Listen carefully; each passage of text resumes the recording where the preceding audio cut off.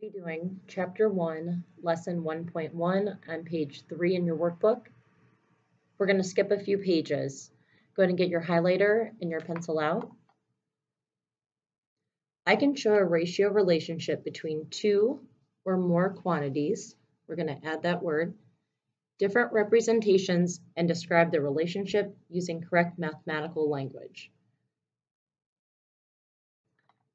Make sure you write or more above this. We're going to go over some vocabulary that we started last week. There are a couple types of ratios. There's part to part and part to whole. Let's rewrite that with an example. A part to part relationship last week discussed we could compare boys to girls in the class. A part to whole relationship would be like comparing the boys to the total number of students or girls to the total number of students in the class. Let's take a look down below. Understanding ratios. The table shows the ingredients needed to make 10 cups of lemonade. Let's highlight that. We're going to come over here. Do you see how it says two cups of lemon juice, one cup of simple syrup, and seven cups of water? If we add those together, we get 10 total cups.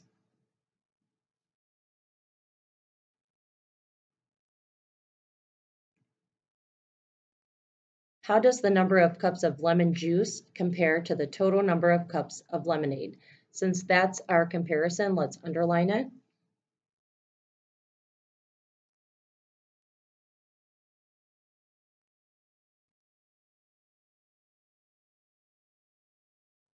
Off to the side, let's write that comparison.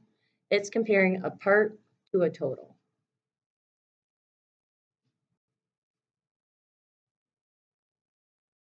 In our table, it says you need two cups of lemon juice to 10 total cups. What this means is for every two cups of lemon juice, there is 10 total cups of ingredients.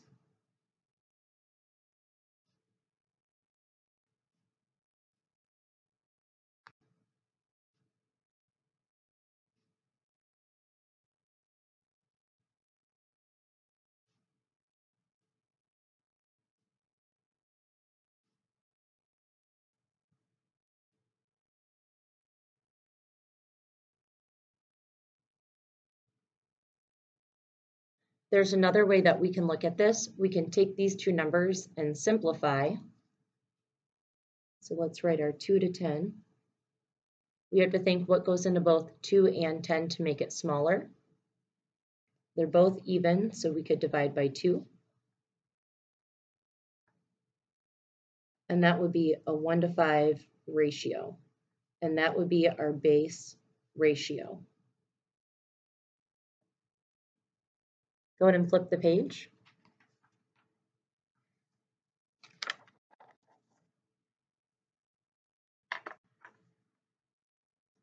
Another way to make a comparison is to use a ratio.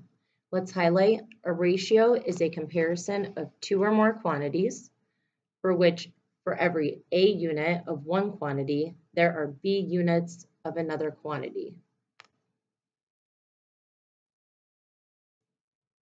The phrases for every and for each are used to define and describe the ratio. Let's take a look at the table below.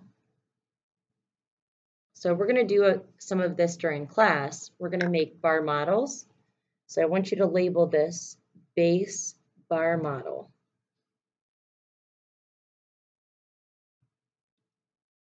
This shows the two cups of lemon juice compared to the 10 total cups needed in the recipe.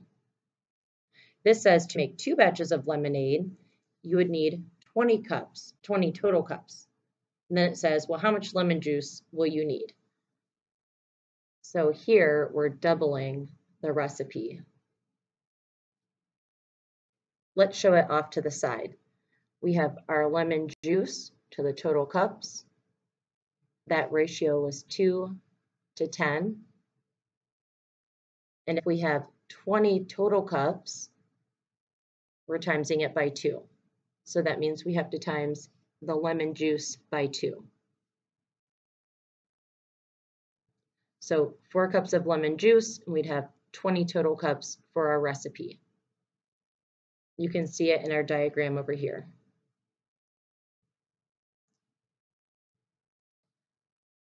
What happens if we want to make three batches of lemonade? Let's write our base ratio, 2 to 10. And let's times it by 3.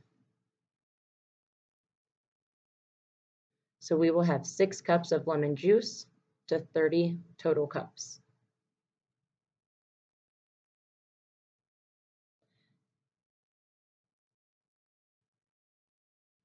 No matter how many batches are made, there are always 2 cups of lemon juice for every 10 cups of lemonade in the recipe.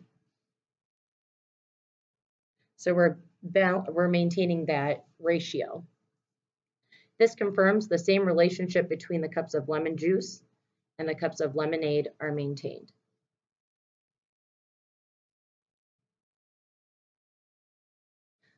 Let's go over here to the talk about it. It says if you did not maintain the same ratio of lemon juice to the total cups of lemonade, what might happen to your lemonade? Well, it could become too sour or it could become too sweet.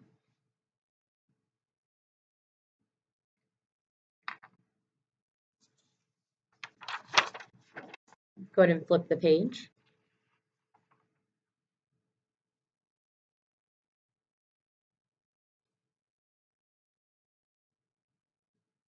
Understanding ratios. Pedro mixed two sample containers of blue paint with three sample containers of yellow paint to create his favorite shade of green. Let's highlight that. He mixed blue paint, well, two blue paints with three yellows. Pedro realized he did not have enough paint, so he added two more sample containers of each color. Let's underline added two more. Will the new mixture result in the same shade of green? Let's justify your answer. It says, how will you begin solving your problem? Let's first start with our labels. We're comparing blue paint to yellow, so B to Y. And then they gave us the ratio 2 to 3.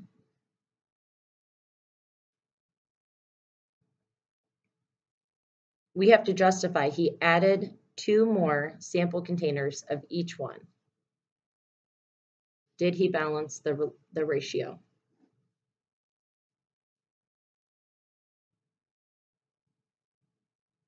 So let's take a look at this diagram. To create his favorite shade of green, Pedro used a ratio of 2 to 3. So we can see 2 to 3, similar to what we wrote down. Pedro added two more containers of each color. So it shows it here. There's 4 to 5, just like our ratio that we showed off to the side. The amount of blue paint and the new mixture is twice that of Pedro's favorite shade. To maintain the same ratio, the amount of yellow paint should also be twice the amount. Is 5 twice the amount of 3? The answer is no. Let's write the new ratio off to the side. So if we need twice the amount, we have to times both by 2 so we would need four blues to six yellow. Let's show it in a small bar diagram. So here's our two bars that represent our blue and three bars that represent yellow. If we want to have twice the amount, put two inside the box and then we can count them up and it also shows four to six. We're going to now jump all the way to page seven. or just kidding, page 10.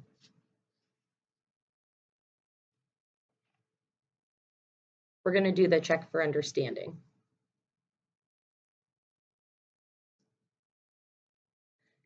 The ingredients needed to make two servings of our fruit smoothie are shown in the table below. Suppose you have 12 cups of frozen strawberries. It's important information, let's highlight it. If you use the entire amount, how many cups of plain yogurt do you need to maintain the same ratio? Let's uh, look over here. We would need two cups of plain yogurt for every three cups of strawberries. Let's start with our letters. They're comparing strawberries to yogurt. So let's use S to Y. Three cups of strawberries to two cups of yogurt. They tell us we have 12 cups of strawberries to use. The 12 goes below the S. How do we go from 3 to 12? Times it by 4. So we would have to times the yogurt by 4 as well. 2 times 4 is 8. So we would need 8 cups of yogurt if we have 12 cups of strawberries. Let's draw our bar model. It's a 3 to 2 ratio. So here's our 3 bars to 2 bars. Put a 1 in each in each of those boxes. And then it shows our 3 to 2. Draw the same boxes. 1, 2, 3 and two more boxes here. If we have 12 total strawberries, then this 4 goes inside the box. 4, 8, 12. That's our factor that we're multiplying by. The beauty of using these ratios is that once you find one box, you have found them all. So here we can also see 12 to 8. That ends our video.